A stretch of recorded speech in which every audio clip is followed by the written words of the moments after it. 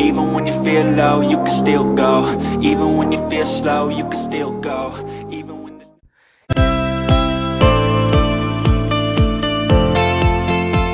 සරණයි දෙවි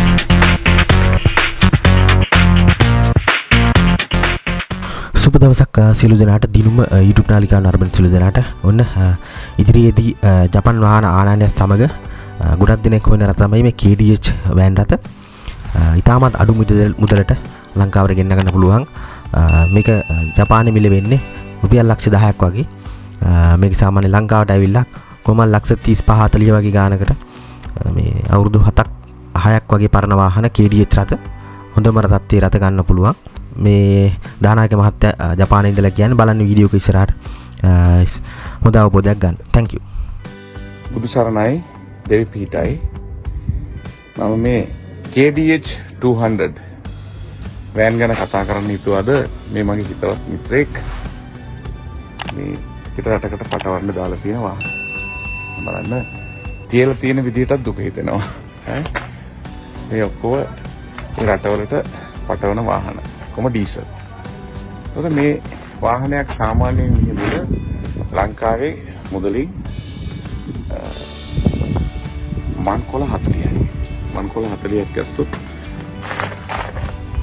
වැඩි කිරීම ලක්ෂාටක් දහයක් කියන්න මැක්සියම් දහය මැක්සියම් දහයක් වුමුත් ඩීසල් ලක්ෂ දහයකය අවුරුදු හතක් අටක් පරනවා මහිතන මේවා චාන්සකත් දුන්නොත් අපිට පේ අයටත් මේ සැප විඳීමේ කොට බලන්න අර හයිරුස් ඩීසල් ලොකුවෙක්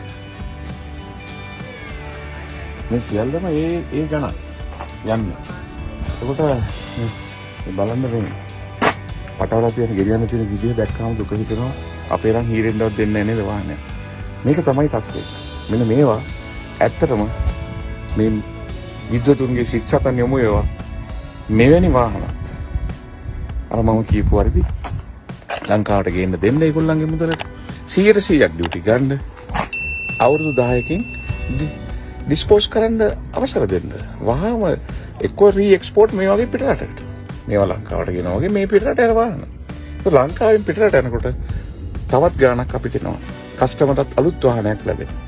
ඒ ගානේ ආණ්ඩුවට ඩියුටියකුත් දෙෙනවා. මට හිතන මෙන්න මේ වගේ දේවල්. විදුතුගේ සුසතන යොමේවක් කියලම ප්‍රාර්ථනා කරනවා. බුදු සරණයි